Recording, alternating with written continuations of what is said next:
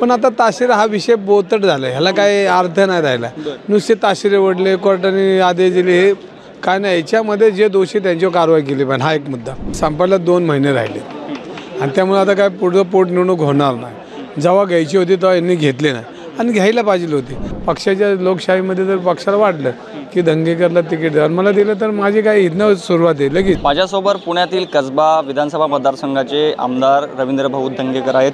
भाऊ काल उच्च न्यायालयाने निवडणूक आयोगाला फटकारलेला आहे. दहा महिने होऊन गेले तरी अद्याप पुणे लोकसभेची पोटनिवडणूक झालेली नाही आहे तुम्ही गेल्या वेळेस इच्छा व्यक्त केली होती जर स- पक्षाने मला संधी दिली तर मी ती निवडणूक लढवणार आहे. आता काय काही विचार बदललेत का तुमचे? बघा पोटनिवडणूक ही व्हायला पाहिजे होती. आज पुणे शहराला खासदार नाही आहे आज पुणे शहराला नगरसेवक नाही आहे सगळ्या यंत्रणा ह्या भारतीय जनता पार्टीने कॅच केलेल्या ताब्यात घेतल्या त्यामुळे ते जे सांगतील तेच करू शकतात. कुठंही कुठ ह्या संस्थेला कुठं स्वायत्त संस्था आहे ह्याला पूर्णपणे भाजपचा यांच्यावर अंकुश आहे. भाजप जे म्हणून तेच हे करू शकतात. त्यामुळे कोर्टाला याच्यामध्ये ताशेरे ओढायला लागले.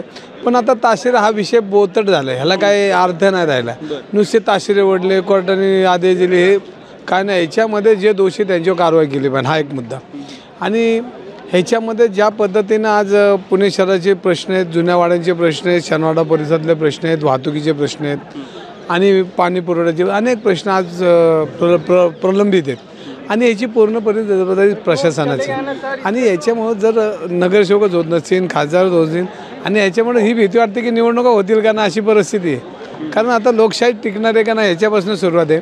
आणि जर लोकशाही असती तर आता लोकसभेची निवडणूक झाली असती प- महानगरपालिकेच्या झाल्या असत्या जिल्हा परिषद झाल्या असत्या. पण आता हे जे म्हणून राजा बोलाने दल आलं. मग राजा जसा वागन तसंच आता ही जनता झालेली आहे. आणि या जनतेला आता काय अधिकार राहिले नाहीत.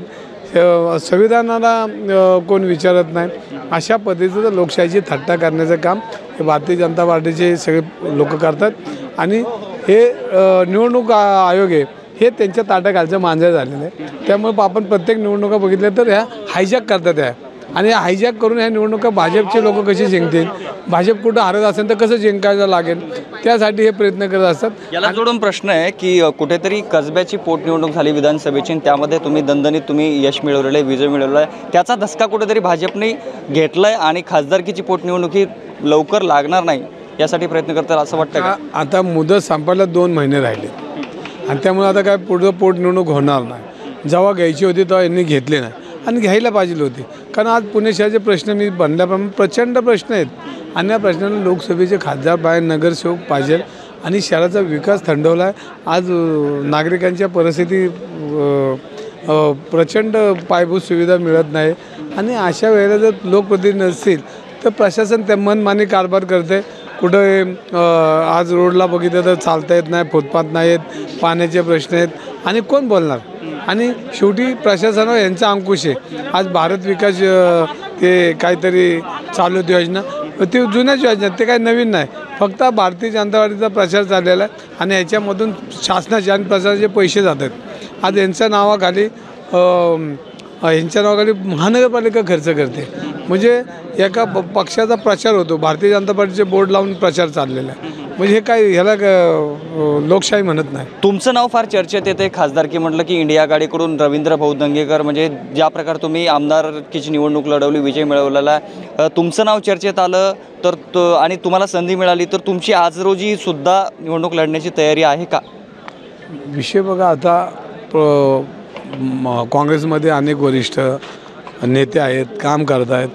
त्यांनाही ह्याच्यामध्ये प्रचंड रस आहे. आणि ते स्पर्धेत आहेत.